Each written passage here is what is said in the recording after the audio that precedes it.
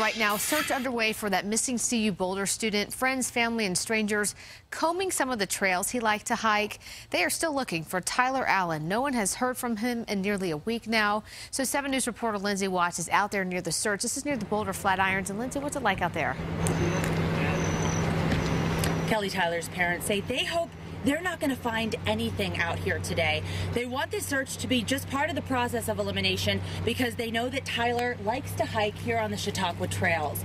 They've put up this missing person flyer here at the trailhead, and right now a few dozen searchers have fanned out all over this park. Some of them are Tyler's classmates from CU Boulder. Others are people who don't even know him but heard about the search. I talked to a family friend who flew in from Kansas to help. Tyler's parents say he is a free spirit who loves the outdoors, and they're hopeful he just wanted some time away to go off the grid for a little while. The reason they're worried is they say it's not like Tyler not to call. He was last seen at a class 11 days ago.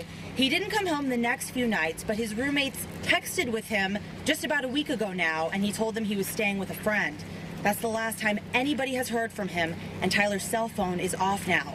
His parents are staying positive and say the support they've gotten is amazing.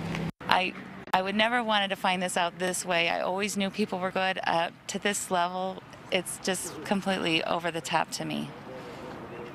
We are just extremely grateful for, for all the kind thoughts from people, and, and it, it is helping us a lot. We'll give you one more look at some pictures of Tyler. His parents believe that he has his laptop and his guitar with him. If you think you see him or have any information about his disappearance, call Boulder Police. We're live in Boulder. Lindsay Watt, 7 News.